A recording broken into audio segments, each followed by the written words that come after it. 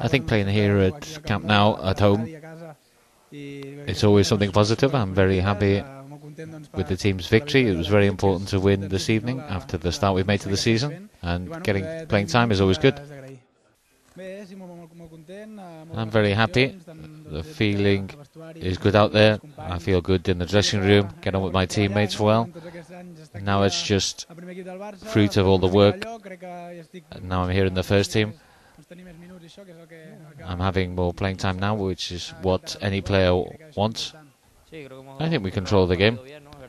It's true that they got the equaliser when they scored a goal from the corner, but I think we got more goals. Leo scored again, so we're happy with another victory at home. It's a forward line that uh, we've been using for quite a long now. We feel comfortable playing together. I think with any teammate you feel comfortable. We're happy with another victory here at home. It was important not to lose, and we're still top of the table.